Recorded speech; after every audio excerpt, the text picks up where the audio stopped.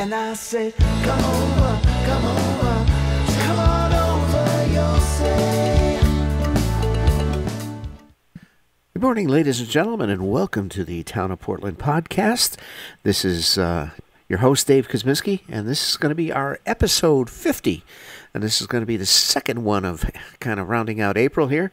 And uh, with us on the phone is our illustrious Chatham Health Director, Mr. Russ Melmed. And uh, how we doing, Russ?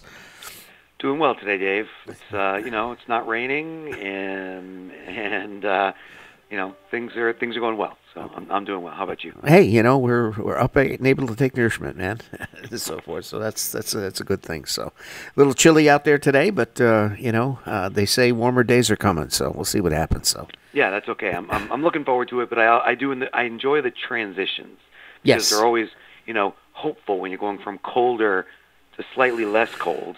Um, you know, it gives me hope. So I, I like these transitional times. yes, there we there we go. Well, this is our uh, this is our episode fifty, Russ. So uh, my God, uh, unbelievable. So everybody well, and and your family. I know uh, had some bouts with COVID and so forth. So Yeah, we had COVID went through my household. Uh, you know, we managed to uh, dodge COVID for more than two years. Yep. And we, you know, we've just got this more transmissible variant. Yep. Um, people are by and large not wearing masks indoors. Yep. Uh, we're socializing a little bit more with friends and family than we ever did in the last two years of the pandemic. And um, you know, the timing couldn't have been worse for us though, because as we all started to come down with COVID, it was the same week we were supposed to board a cruise ship for a vacation. So, um, not wanting to start an outbreak on a cruise ship, we canceled that vacation. So we were all a little bit disappointed. Yeah, um, yeah. But you know, such is life. Uh, you know, and then we're we're over it now, so Well- we're all feeling fine. Well, uh, that's a good thing. That's a good thing. So, uh, so uh, what what variant are we on now? Uh, right. So we're, we're the variant that we're that is dominant right now is we're calling BA2. Yep. It doesn't have a you know a fancy Greek name because really it is still Omicron. So Okay.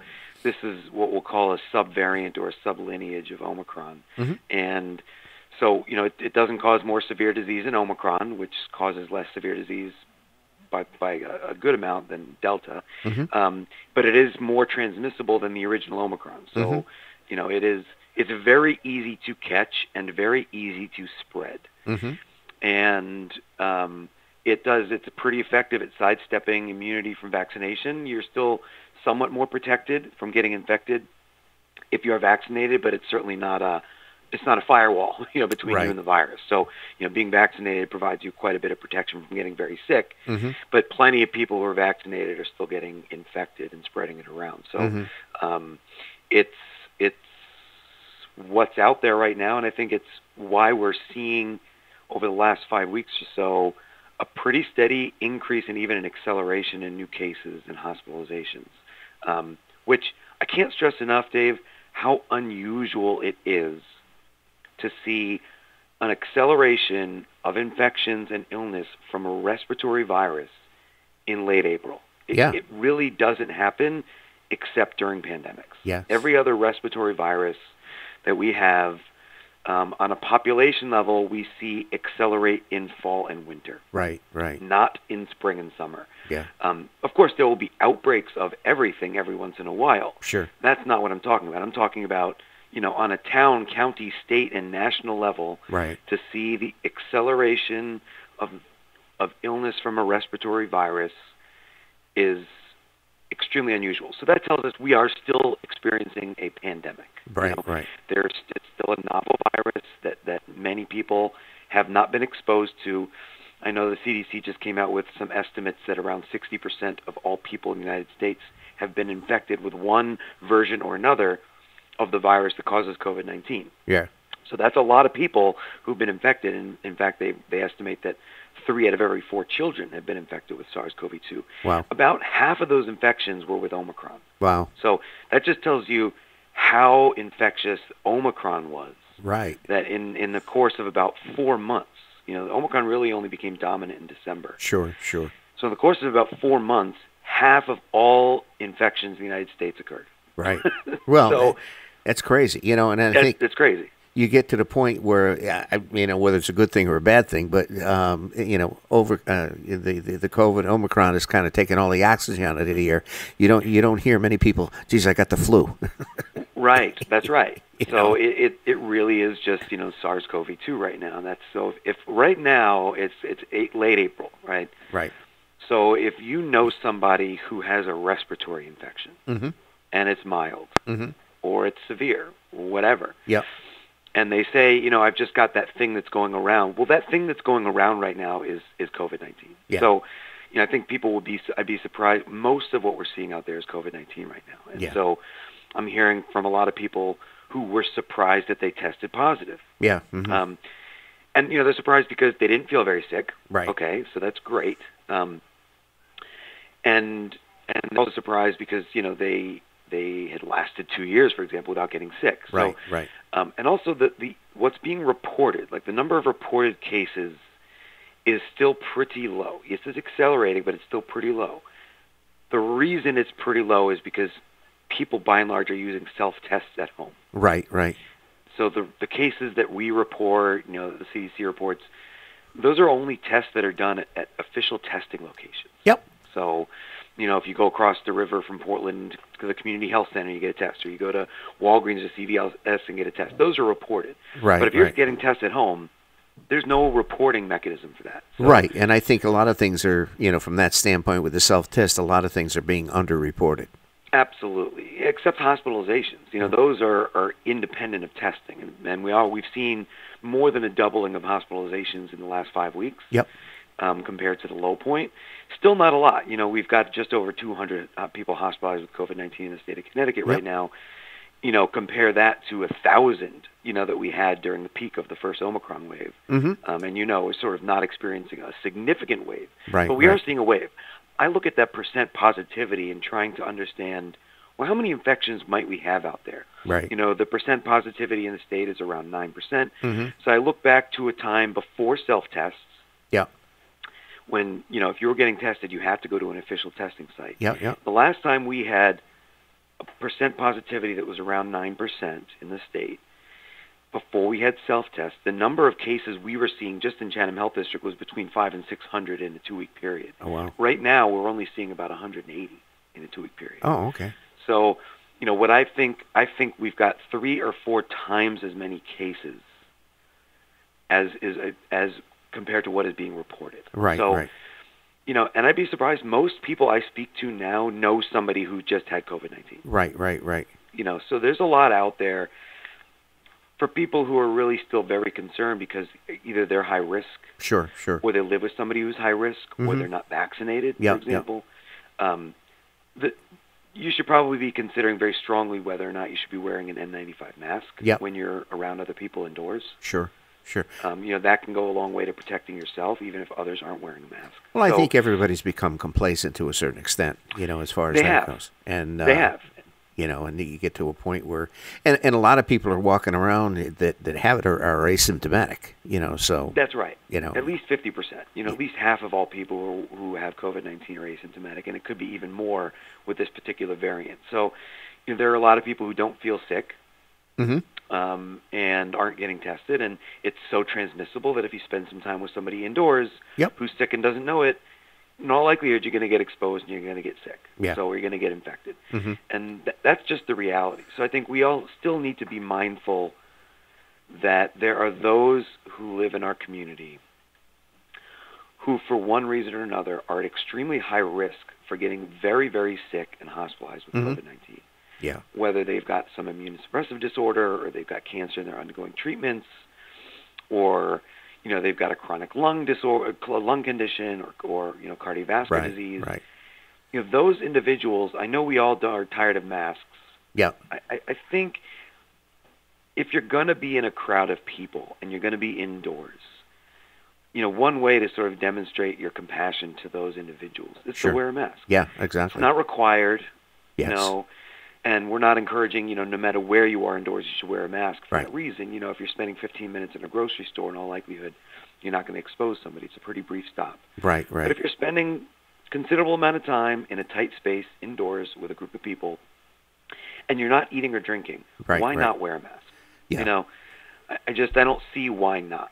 So, um, but I, I think you know the time of, of mandates and requiring those things is gone. I think I'd be surprised to see this Right. particular wave peak at such a high level Yeah. Yeah. that those are even considered, right. you know, requirements. Mhm. Um, Well, I think a lot of people. Go ahead. No, no, in in most public buildings, I know, uh, you know, Ryan has has made, uh, you know, our town hall, uh, you know, basically they're not requiring masks, but they're strongly recommended. So, Yes. you know, they're they're not, you know, putting that mandate out there. And I think from this, that's the same thing, you know, as far as in relation to the school systems. You know, I know uh, I had a conversation with uh, with Charles last week, and and you know, he gave his. Uh, uh, weekly update email to the to to the throngs and so forth. And uh, you know, we've got uh, actually the high school had no cases of COVID, and we've had.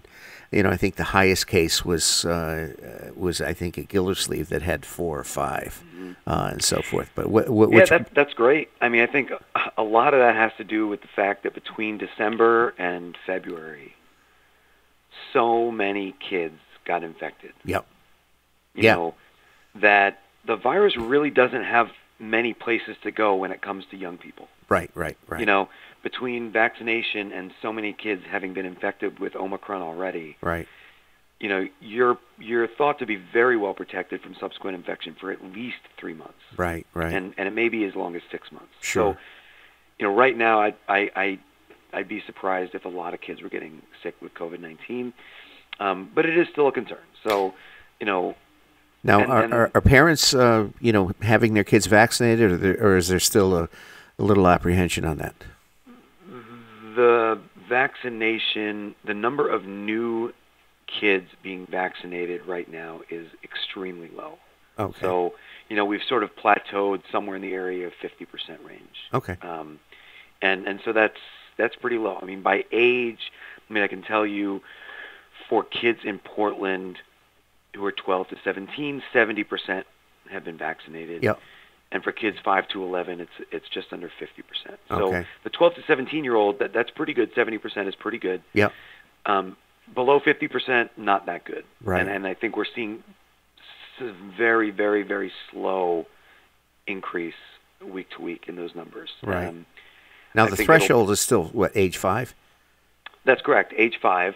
Okay. Um, Pfizer had submitted data to the FDA for authorization for their pediatric vaccine for children as young as six months, and it was not authorized okay. um, because they really didn't demonstrate that the immunity, that the protection um, was very long lasting and very robust. Moderna just submitted their data for their pediatric vaccine for children six months to five years of age, Mhm. um, and that's under review by the FDA. So, you know, we're waiting to see if there is going to be a vaccine that is authorized for children as young as six months. Yeah. It's not yet. Right. Um, right. And you know, keep in mind, you know, the vaccine safety profile is very, very high. Yep. Um, but you know, it's not perfect. You know, some people will have have side effects. Right. Um, very rarely, some people have serious side effects. Sure. Really doesn't happen much, especially with kids. Yep. But of course, kids, you know, are are by and large much less affected by COVID-19 than their adult peer than than adults. So I think that the FDA is rightly looking very, very uh, uh, cautiously at Yep.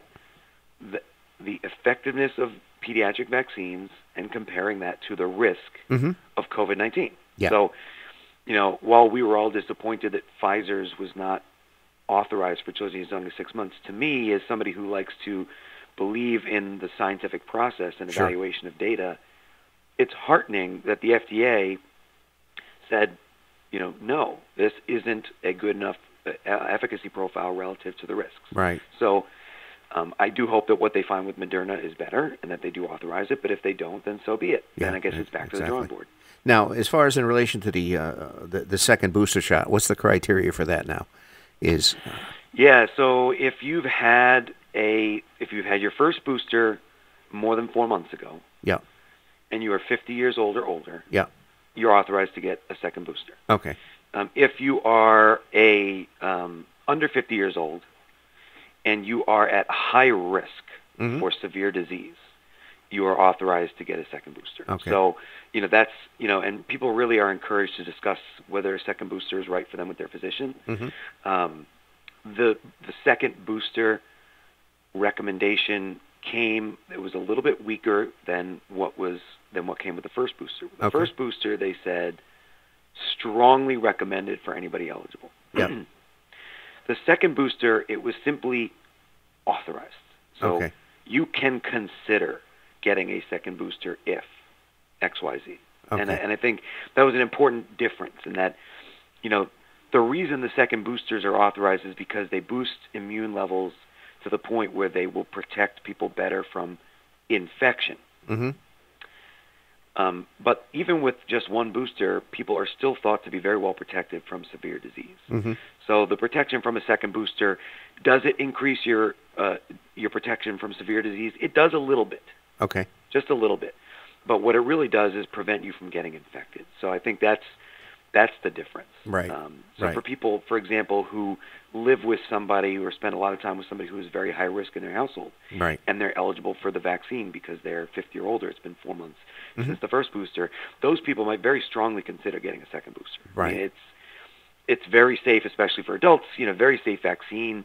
So really, there's very little risk and harm from getting a second booster, Right. um, and that's why it's been authorized. So I Right. think that that you know, for anybody who who is either high risk themselves or lives with somebody who's high risk and doesn't really want to get infected at all, I think Right. getting that second booster is something that they should really consider. Now, do you, do you have any stats on you know who who's gotten the second uh, booster shot? Uh, No, we really only have stats on, on people who've gotten the original booster. Okay. And the people who've received an additional dose, we haven't even hit 50% in Okay. Chatham Health District. Okay. So, you know, right now we're hovering at around 48% of residents in Chatham Health District have received an additional dose after their after completing their original series. uh-huh. So that's not very high because at this point, far more than 48% are eligible to get that first booster. Right. Far more people. Okay. You know? And so to see 48%, it, it, it's disappointing because that that initial booster is going to really provide a lot of protection from severe disease. Right. Right. And we again we are in right now what we would consider the fifth wave of of, of COVID-19. Um, it's not a totally innocuous virus, Right. Right. especially for older adults. So, you know, if you haven't gotten your booster yet, you're an older adult. I'd say the time is now. Sure. Really, don't delay. Well, do we Um, do we have to put out another PSA on second booster shots? well, we may, and I think what what's probably you know what what's probably going to happen is as we approach the typical respiratory virus season, Yep. you know, September, October, um, you'll start to see some messages come out that are pretty strongly recommending getting an additional dose, even if you've already gotten a booster, Sure. a second booster, um, because you know flu can really complicate things if you get flu and COVID-19 at the same Yep. time. Yep. So, uh, you know, there are going to be a lot of clinics going around in the fall and winter. So I think we'll we'll start really pushing PSAs Yep. around second boosters as we approach that that fall season. So, Sure. you know, what I expect to see with this current wave is for it to start abating in the next couple weeks. I think we'll probably peak in a week or two. I could be wrong. That's my crystal ball. I Yep. think the virus is going to it's not going to find many places to go. Yep. so I think probably in the next week or two we'll see a peak Yep. and then we'll see it go down, and we'll have a couple of really good, strong summer months where there's not a lot of virus circulating. I hope. Well, as people become you know more outside and all that kind of stuff, and uh, Yes. I think that's going to Yeah. you know make things a lot better. That's right. Um, and then you know, as we start to approach August, September, October, we'll start to see that winter surge um, take shape. Sure. And, and getting a booster at that point, or before that winter surge starts, Yep. Exactly. Exactly. is going to be really the goal. Getting people boosted, getting people who aren't vaccinated vaccinated. Great. Um, because again, not a totally innocuous virus, especially for people who are not yet immune, immune Right. from previous infection or vaccination. Awesome. Well, thanks, Russ. I appreciate it. You know, uh, you know, I know you had a tight timeline. You had a, uh, other accommodations that to, to, on your calendar and so forth, and you you had a busy dance card. So uh, Ryan, yeah, it's, it's bu- busy day today. So. Uh, Yeah, Ryan had a had a busy dance card today, and he just got in here just a little few minutes ago. So, uh, anything. Hi, Ryan. How you doing? I'm good, Dave. How you doing? How you doing, Russ? I'm doing I'm doing well, Ryan. How are you? Good. So I I gotta say I had to call Russ myself uh, a, cou- a few weeks back because I did test positive for COVID. Yep. And that was uh, quite the experience. Uh, I think it was a Tuesday morning. I had taken a, a self kit before work, and it, it came back positive. And um, I I called Russ, and Russ walked me through it. Thank you, Russ, for that. And Yeah, uh, no problem. and so luckily I had a very minor um, case of COVID. I was uh, I didn't feel very well that Tuesday and, and Wednesday, but by Thursday I, I you know I was feeling better, but still in the quarantine process. So I you know worked from home. Uh, you know, got a little antsy by uh, by Friday and Saturday. I was ready to get out, but um, I took a test on Sunday and I, I tested negative, so that was nice. So it was five days for me, and then uh, it was back wearing with a mask on uh, the following week. So it was good. But thank you again, Russ, for your help. with Yeah, well, no problem. Glad to hear that that you know you had a mild course. I also about a couple days later, I spoke to you. I think on the Tuesday. On Thursday morning, I had a tickle in my throat. I took a test. I tested positive. Um, so you know, for me, it wasn't just a matter of working from home for a couple days because I was scheduled to go on a cruise oh no, uh, boarding on Sunday, and so those those plans got canceled. So my my springtime cruise vacation plans were were were derailed by COVID nineteen. You know, I also had a pretty mild course, but uh, you know, not only do I not want to s- spread COVID nineteen around a cruise ship, but No. you know, cruises still require negative tests before you board. So Right. um, for a lot of reasons, we we we canceled that cruise. Um, and when the family was feeling better and our isolation period had ended, we drove up to Niagara Falls. So Hey, there you go. know, we, we did something for the spring break. Uh, you know, we all had mild courses of illness. Thankfully, we're all vaccinated and Sure. boosted, and uh, and you know, so so we're beyond it now. But certainly, it can be disruptive to people's lives, even when it's Oh, absolutely. Well, you know, uh, was the uh, cruise line accommodating on that as far as that? They were, you know, they have uh, this cruise with confidence thing going right now, where you know, if COVID nineteen disrupts your your plans, you know, they'll rebook you. So we have a plan to go in July now. It's not quite like leaving cold, Right, you know, right. cold Connecticut in in mid-April, uh, going to the Caribbean, but um, you know, I'll take it. So we're going to go in July, and, and hopefully uh, the weather holds and we have a nice time. Well, you know, the cruise industries, ha- you know, has have been hit very hard, you know, and I think they have to be accommodating, and I think they're just starting to, you know, find their way back, but it's still it's a slow go. It really yeah, they is. sure are. They were around 60% um, booked for their cruises, and now I think they're back up to around 90% full. So, you know, I think they're coming back, and this is, you know, this is going to be my coming out of COVID vacation, and I think I just mistimed it. there you go. There you go. All right. Fantastic, Russ. All right. Uh, thanks, Russ. I appreciate Yep. it. We'll let you go, and uh, we'll, Thanks so much. We'll get on with the uh, with, with Ryan's update here, and uh, uh, we'll talk soon. All right, take care. thanks, All right. Russ. Thanks. Oh, that's too bad, huh? Yeah, I know. That's a bummer. I Yeah. hadn't heard that. Yeah, yeah. Wow. It's just like okay, well, we're not going on a cruise, and and you know, eh, with all the cruise line, you know, as far as that goes, they're requiring a negative test, and you don't want to get on a cruise and find out you're positive, and then all of a sudden, you know, when this whole COVID thing hit, man, they they had cruise ships stranded every place with quarantined people on board. I. And some of those rooms don't have windows. No, So no. I can't imagine what those uh, those folks must have been going through. Yeah, no, exactly, exactly. So anyway, all right. So how you doing there, big guy? Doing well, Dave. We are uh, we're very busy these days. With, Yes, you are. with all sorts of different projects. But like I tell, I always say they're all good projects, and, and we have a lot to get done. But um, but it's fun work. So we're so we're working hard. Good. Um, I'll start off by saying that we have the board of selectmen has uh, pushed forward their budget, Yep. and so that is coming up to a town meeting On which- May second. May 2nd. There you go. At 7 p.m. Uh-huh. And so the town meeting is a, a time where residents can can attend this meeting and to vocalize their their thoughts and, and points on the budget.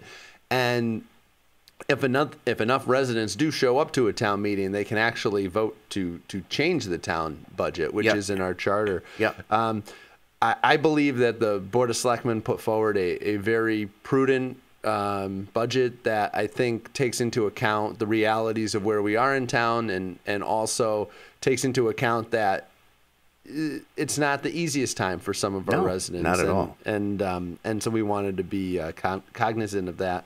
And so um, May 9th will be our budget vote. Yep. And so the polls will be open from 6 a.m. until 8 p.m. here at the uh, Portland Middle School. It will be, I believe it's in the band and, or the chorus, the chorus room, The okay. chorus room. Yep. And and so the budget, there are absentee ballots that are available in the clerk's office, Mm-hmm. and the budget is open to not just registered voters, but also property owners as well. Mm-hmm. Okay. So if you own property in town that's assessed over a thousand dollars, Mm-hmm. that uh, entitles you to be able to vote on the town budget as well. Okay. And so I, I do want to point out that that is the property must be in your name. It, you can't own the property in an LLC or something like Okay, that. So, right. But um, certainly we want to get the word out on the budget, and we want as many people to to come to the town meeting and, and to also to participate in the budget process on, on May 9th as, as possible because you know um, it's Right. it, it means a lot to the to absolutely. the town and, and, and it is important. And so I, I do want to thank the Board of Selectmen. I want to thank the Board of Education and uh, Dr. Britton for all for all their work Mm-hmm. on the budget, and especially our finance director Tom Robinson. Commander numbers. That's what I call him, Commander numbers. He, uh, you know, he does such a great job for the town, and uh, you know, really appreciative for all of his hard work on this. Yeah. And so, uh, just for as far as um, where we're at with with the budget, we do have a. Um, uh, it's above all, it's a 2.45 percent increase in expenses this year, uh, as opposed to last year. There's a 2.27 percent increase in general uh, fund expenditures, and a 2.57 percent increase to the Board of Ed. Sure. So. Uh, I like I tell everyone I wish it was zero or we, we could Right. go down, but just the state of uh, where we are at right Sure. now with our economy and, and fuel prices and all that, it is Yes. it is very hard to keep costs flat these days. Sure, and, and keep in mind we just went through a reevaluation, so We that changed our our, uh, our our grand list. Consider we had a. Uh, a a pretty generous increase on our grand list, which is a good thing. Uh, Eleven percent, and uh, so that's nothing to sneeze at. So that's, uh, but by the same token, I think it, it, it kind of lowered our our mill rate just It, a little. it did. So we're looking right now at a mill rate of 32.39, which is actually a very important number for us because we made it below the threshold that the legislature has just agreed upon for the capping of the um, motor vehicle mill rate. Oh, okay. And so I believe that they capped that at 32.46. Okay. Very close to our 32.39. So, Okay. So um, that's a good thing. That means that we don't have to do anything else um, as far as Motor uh, vehicle-wise. Exactly. So, Right, right. so yeah, we, uh, you know, that was a small win for the town on that.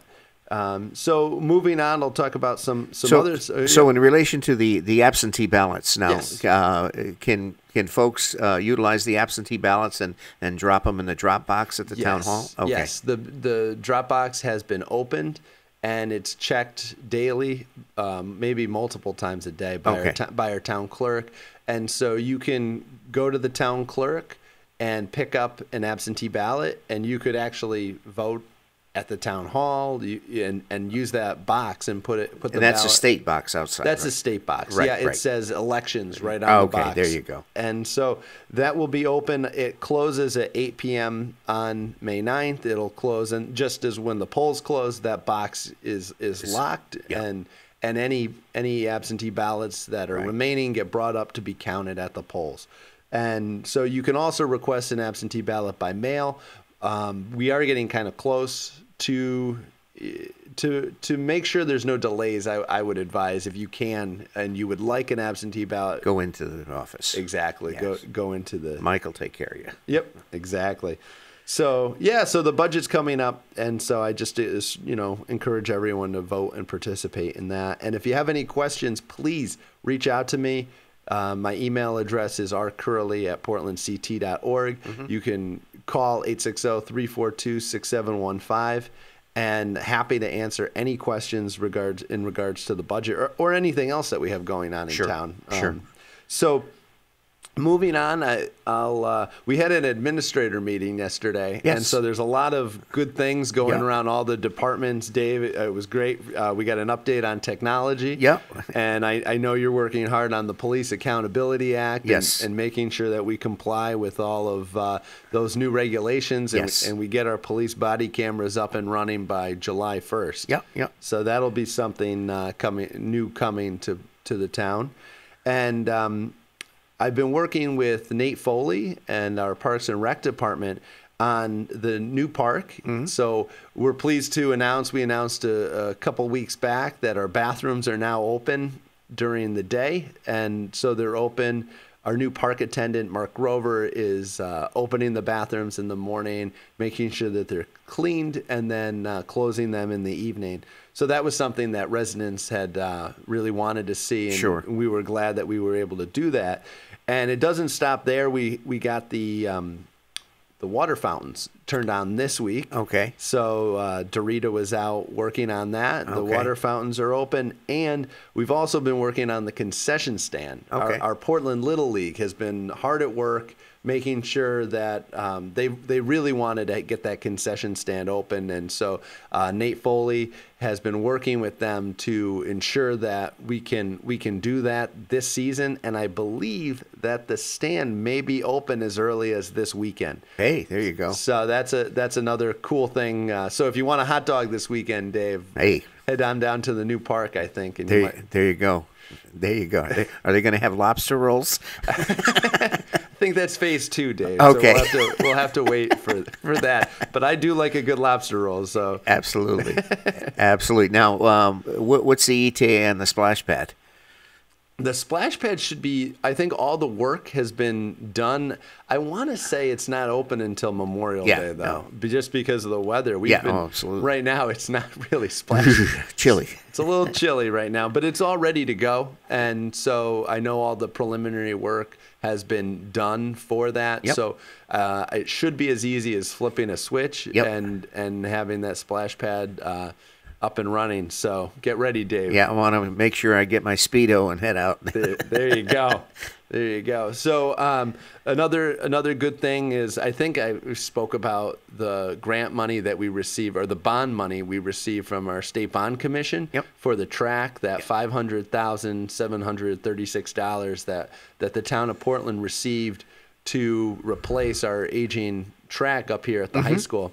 And so our finance director and also Stephanie in the Board of Ed Yep. office uh, worked on an RFQ, which has been um, which has been published. So right now we are we are looking for um, engineers that to to design this- Scope out the project. exactly to scope out this project. And so that's as far as we can get right now. I did speak with the state bond commission. We have to hold off on on anything else until we sign the contract with the state. Yep. But at least we have the ball rolling, and because I know how important the track is to so many of our residents and Yes. you as well. Yep. And so we want to get that going as, as quickly as possible, and we don't want to wait waste uh, any any time. So uh, Exactly. so yeah, so that's Nice. that's moving along nicely, and, and I hope to be able to sign that contract uh, sometime in early May is what it is what I Mm-hmm. believe the date will be. Yep.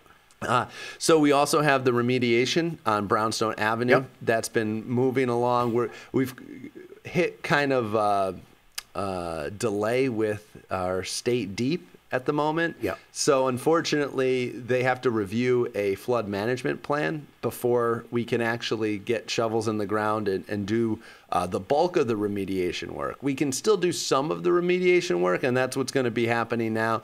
They can do some, I believe they can do some of the clearing and some other things, but in order to, to get into the soil, Right, right. and um, and also right now our water tables are very high. Yes, they are. And so that would prevent, as of right now, us getting in and remediating that property. So it might, we might have to wait until, um, until early September potentially, Right. because they asked me if I wanted to do the remediation when we have our Brownstone Exploration Discovery part going on, and I don't think that's a, a good idea No. for uh, to have to have that major type of work and and all those. Uh, uh, pedestrians walking and, and Exactly. having fun. So so that might set us back a few months, but I, it's not it's not the end of the world. We still have the project underway, and we're also looking at more grant opportunities for the other two parcels, the 222 and 230 Yep.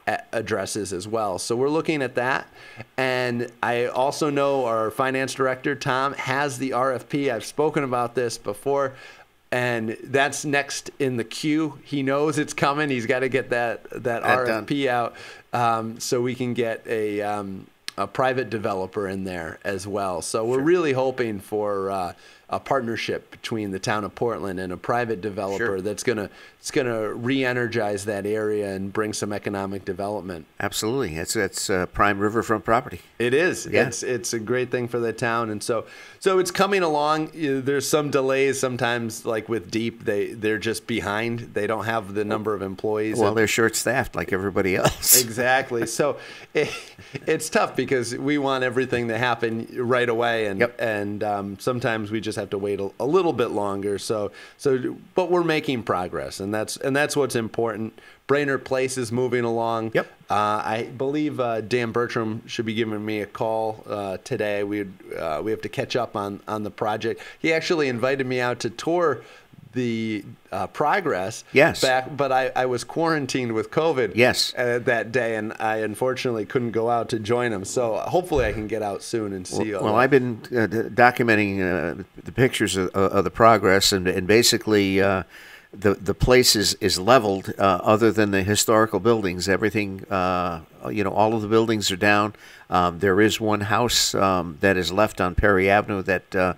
They're they're supposed to be out by the end of the month, so that um, I know that was a holdup on uh, joining all of those parcels along the Perry Avenue uh, side of it. So, but you know, all of the the hospital buildings that were there are all down, been uh, demolished and down and removed, and it's just the uh, historical structures that are there now. Exactly, and they should be uh, merging those parcels based on the, our our recent agreement. Mm-hmm. So that will be coming uh, very very shortly. If and um, and so yeah, no, the progress continues, Sure. and it's it's great to see.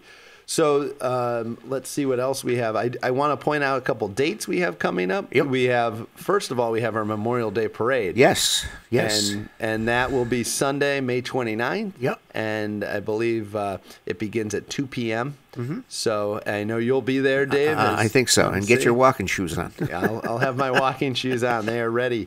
So hopefully we'll have some good weather for that. Yes. But uh, encourage everyone to attend. Yes. It'll be a good event. I think last year it was just, it was awful weather. It was damp. It was cold. And, It was- it was a very it was- cold It was kind Memorial of Day. drizzly, and whatever. Yeah. but So yeah. hope hope for a better one. And then uh, some exciting news: our, our town library is celebrating their 125th anniversary. There you go. plus two because they Of the COVID. because of COVID they were they were all set to celebrate their uh, 125th anniversary back in 2020 and they were delayed by COVID and so this year we're celebrating 125 plus two There you go. at um, and the date will be June 11th, and, Yep. and they have a, a bunch of fun events planned at our town green, Yep. which is uh, next to our senior center behind the Buck Foreman building there, and um, I believe Parks and Rec and Youth Services are participating in this as well,